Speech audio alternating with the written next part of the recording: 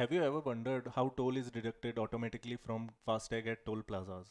This works on the technology of radio frequency identification which we popularly call as RFID.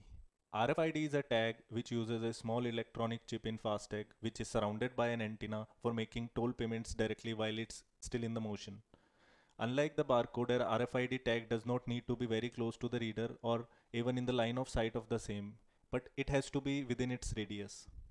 FASTag have passive RFID chips as it does not contain its own battery. It is energized only when the beam from the scanner strikes it.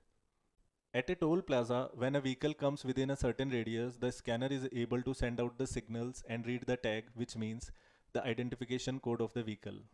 Since a FASTag is pre-charged with money, it hits the payment that is inside the tag and deducts the toll amount. All of this is done in an automated way without the vehicle stopping or the toll operator touching the tag itself. Thank you guys.